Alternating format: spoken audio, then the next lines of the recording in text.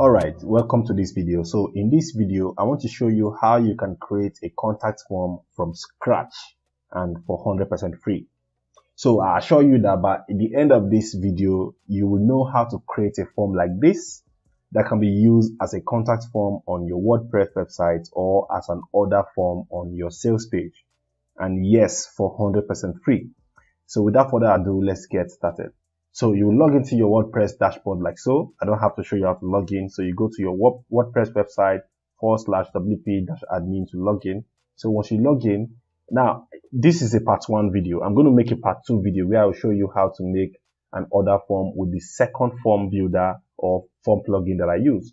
In this first video, I want to show you how to use Fluent Forms. All right. So what you do, you go to, once you log in, you go to um, plugin, click on add new plugin Okay, so you're going to bring it to add new plugins like this. So what you just need to type is the name Fluent, Fluent Form, right? So just type Fluent Form and the first form that will pop up here is the form that you're going to work with. So you're going to see by contact form plugin by Fluent Forms. Make sure it's from contact form WP, whatever the name is. So you're going to click install, just like you see here. You're going to click install now and also click activate. So once you click install and activate, once you go to your installed plugin, you're going to see Fluent Form right here. And also it's going to appear on this left hand part of your uh, WordPress dashboard. So this is where we're going to work from. So from here, just click on it. So since I'm not installing this for the first time, you can see I already created uh, two forms. Okay, I think this is the default form, but I already created one. So for you to create a brand new form, now this is free. We're not upgrading to the pro yet or forever if you, if you don't want to. So just click on add a new form. Once you click on add a new form, you can see they have they have dozens of templates to work with, but most of these templates are if you have a what they call it a paid plan, all right, a pro pro version. You can also create a conversational form, just like a survey with a fluent form. This is amazing. But right now, I want to create an order form for my website that looks like this. Okay, so I'm going to show you how to do that. So I click on create a new form from this blank section because I want to impute my own field. So you click create form. The first thing I like to do once I click create form and it brings me to the editor dashboard, I like to first of all edit the name of the form to my product form. So I can just say, um, shoes form. Now you can name it whatever you want to name it and I click rename.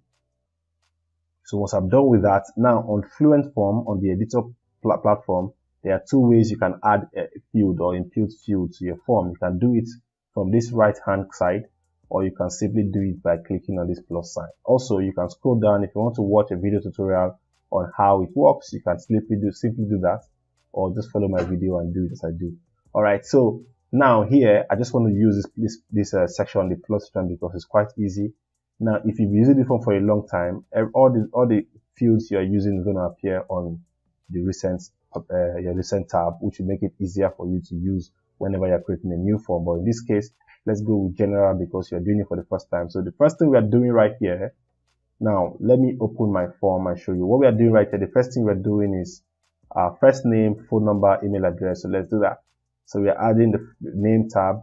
Now you can see they have the first name and the last name. I don't like it to be like so. So what I do, I click on the pen tool and the edit section is going to come up over here. So I'm going to uncheck last name. I'll click on this drop down right here. All right. I'm going to change this to full name. Okay. Also, I'm going to change this to full name. All right. So I'm going to scroll down. I'll make this section required because I want them to give me their details. So if they don't, this is what they're going to get as an error message. This field is required.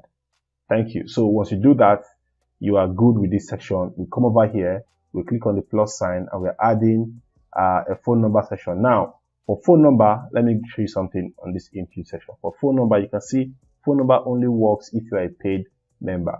So, but that's, that's okay because we have another way of doing it. What we are going to do, we're going to use the simple text, uh, input or the simple text, uh, element. So just click here. I'll just look for the simple text and we'll click on it. So we'll click on anywhere on it or we'll click on the pen tool. So that you click anywhere or you click on the pen tool to activate the editor section. So right here, I'll just put phone number. So you can do that as I, I'm also going to make this field required. Okay. I want them to give me their phone number because this is an order form and once you put required, it's going to add your red asterisk right here. So the next thing I want to add is the email address. I need your email. So once you put that field, you can click here or click here again. Same thing, email address, placeholder field, email address. I'm going to put required and that field is done. So the next thing we are adding is what? Is gender, select package. So in this section, in this part, in this part, what we're going to add is a drop down because they have to click on it. They will see the drop down. Okay. So we're going to add a drop down. So we'll drag it down. You can see the work here, just dragging it down. Let me just drag this down and drop it below here. Now, if you made a mistake by dropping it above, you can simply hold this down and drag it to wherever you want. Okay.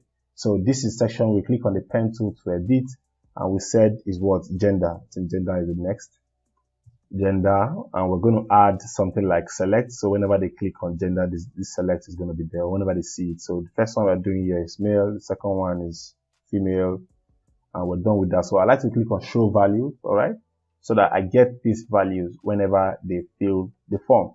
So again, I'm going to make this required. Now over here, I'm, I'm just going to duplicate this because we have another section that's a drop down.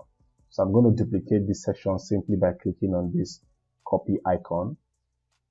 So we have two of those and over here I'll click this and I want to make this select package. Okay.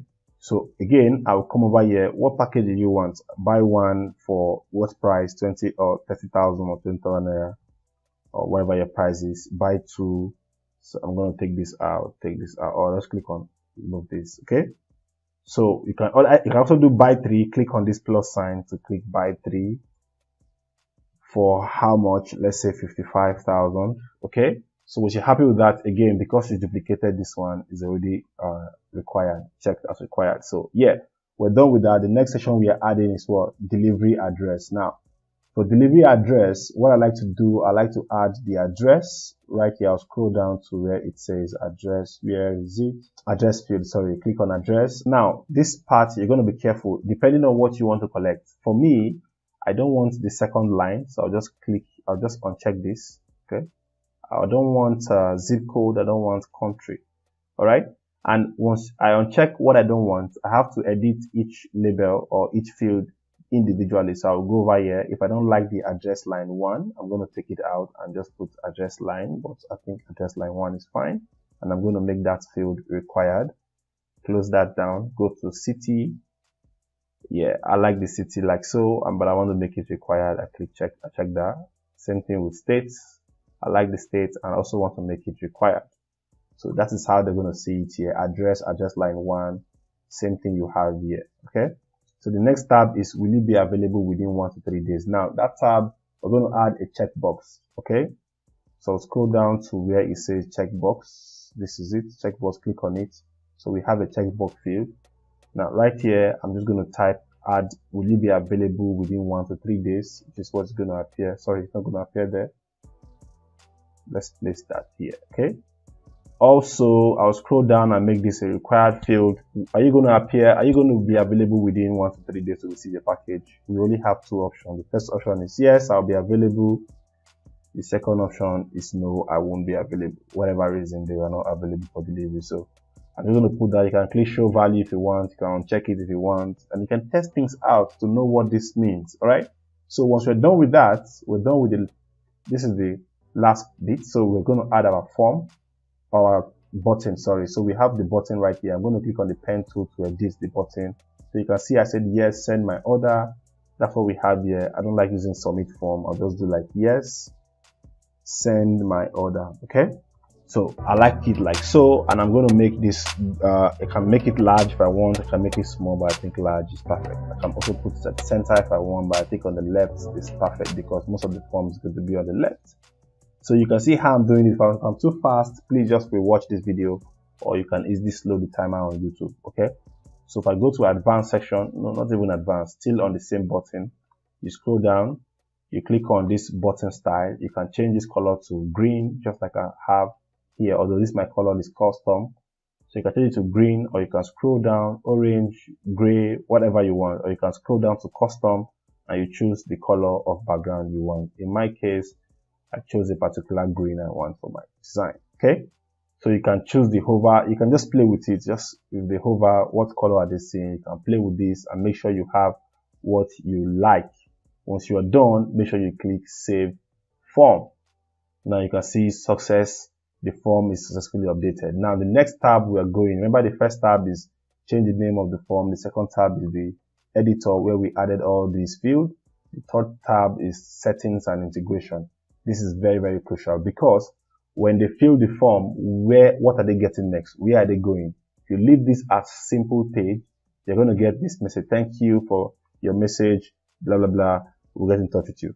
If you add a page, if you created a page or a thank you page where you want them to land after filling the form, you just simply choose that page here. You can see I created a page.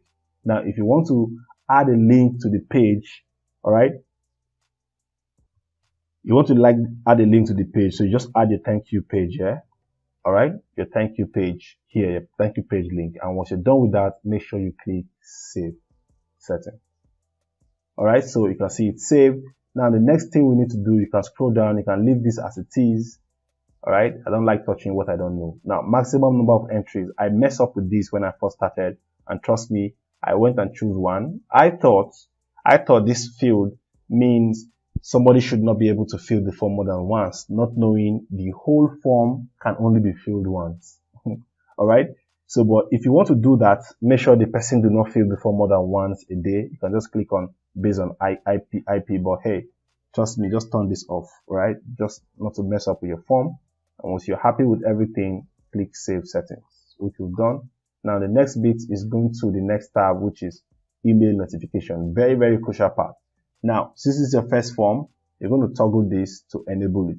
Now, click on this setting icon, this blue setting icon to edit this. Now, what is the name of this particular email notification? For me, it's a new order for a particular shoe I'm selling, all right? Or new shoe order.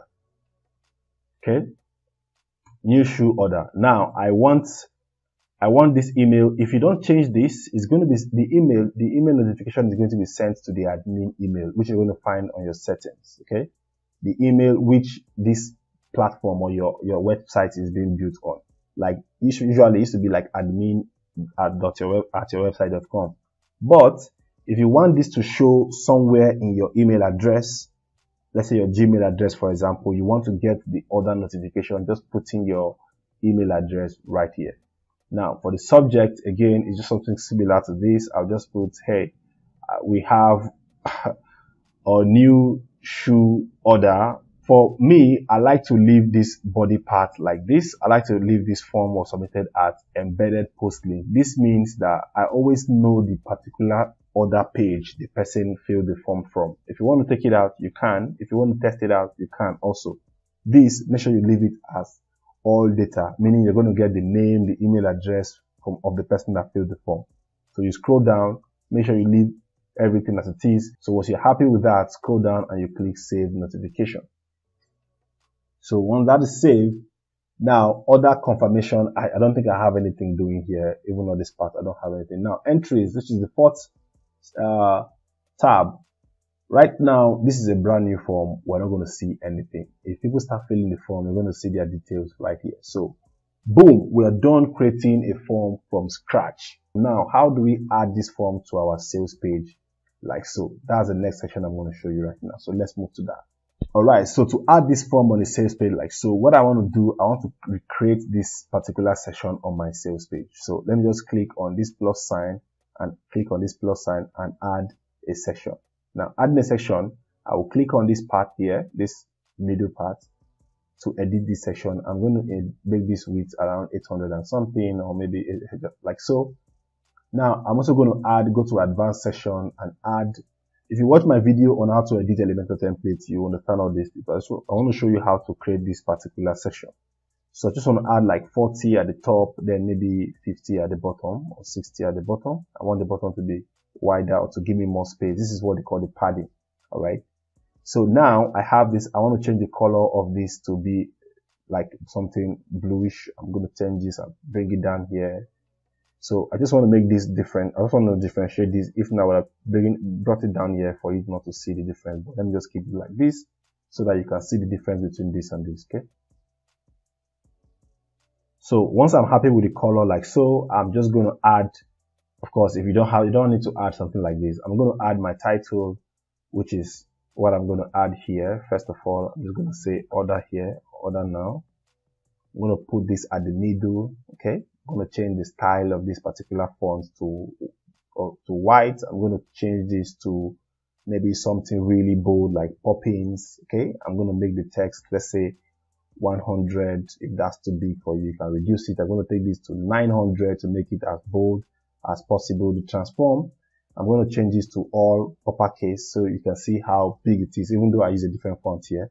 But you can see we have something similar just within two minutes. All right. So the next bit, I'm going to add a section like this. I'll go back to this particular section here. I will drag another title and put it down there. I'm going to add enter. Okay, so once done with that, I'm going to center it. I'm also going to go to style, make this white. You can, to edit, to add a green here is something about code. I, I don't know if I can show you right now, but this is the code right here. This is the span code and the ended here. So I don't want to go into coding right now. I don't want to stress your brain. You can leave it white as it is. I'm going here. I'm going to make this text, let's say uh, 40. That's even too big for me. I'm going to make it 30. That's fine. I'm going to change this to the particular font I want. I can decide to use something like Montserrat, which is one font I really like. Okay. So I'll use Montserrat. So I'm happy with that. Next thing I want to do, I want to add a section. Now to add a section, I'll go over here and drag inner section and drop down there. So you can see we have two sections, but I'm just going to delete one because I need just one section. Okay. So this inner section, I'm going to make this particular column white. You can see it's transparent, but I click on this column, click on here. I'll go to style and I'll make it white, just pure white like so. And I'm go, I'll go to advanced and I'll add my padding. I'll make sure they have 20 all round. Okay. 20 all round. Now you, you're not seeing this because it's not visible. So we go back to our form. We're going to copy our form code. Click on it to copy. It's been copied to your clipboard. You go back here and you search for what we call, what they call short code. So search for short code, drag your short code into this section of this uh, column, leave it there. You can see your short code right there. Now on this bit, on this place, we say enter your short code. Remember we copied our code. We'll go back there and we'll paste that code right there. Boom. You just have a form. We just created a brand new form from scratch. Now, if you're not happy with this, you can easily go back here and change the button. All right. If it's not reflecting here, don't worry. Make sure you save and preview and see if this is, if the color you chose here is reflecting here. All right. So we just created a form just like you can see right here with Fluent Form 100% free. Now, if you're using the free version of Elementor like me, trust me, you cannot use the Elementor form, the Elementor default form, which is really, really sweet to use, but unfortunately we can't use it. But hey, we just have a form that we can use to collect our leads, our sales from our website. I hope you understand this video. If you don't, please just help me rewatch it. All right. Or slow down the pace so that you can understand. But this is how to create an order form for free on your website. You can see how it looks on mobile. Now, if the padding is too much for you, like you can see my padding here is kind of okay. If the padding is too much, click on the edit column, go back here, uncheck this. You can see that you can now add maybe 10 all over if that's fine by you, or you can uncheck it and say, okay, I want the top to be 20, I want the bottom to be 20, but I want the side to be 10. You can see we have more padding on this on the bottom, more padding at the top, but very little padding on the side. Now you have your WordPress uh, your form for free. Now, this is too big. You click on this pen tool. If it's too big, it's kind of pulling up on the page. You click on edit. You go to style. You click on edit. Now we have to take this to 90 or so. Or however you like it. I like it like so. Let's say I take it down to 47. Okay. I like it like so. And this text, I'm going to take it down a little bit. Go, go to style, settings. I'll make it, let's say 20, 20 is fine. Okay. So I can scroll down here. I'll make this on EM and I'll make sure it's 1.2, which is the line height. So I just showed you how I create my form. Although I take time in doing my stuff, this is a video. I don't want it to be too long. That's why I'm not taking too much time. But hey, I, I know you understand what I'm trying to say. But we'll just create a brand new form with Fluent Form for 100% free. Thank you so much. Watch the next video where I will show you how to create brand new form again with another form plugin. See you on that video.